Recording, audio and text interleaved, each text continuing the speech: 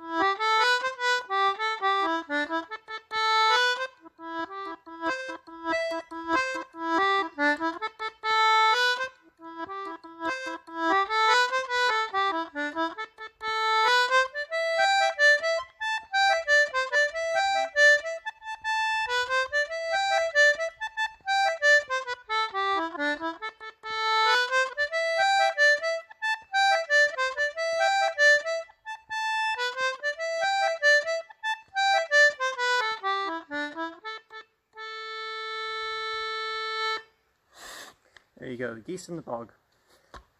Hope you enjoyed that, and I will see you Monday. Have a great Lord's Day. Take care.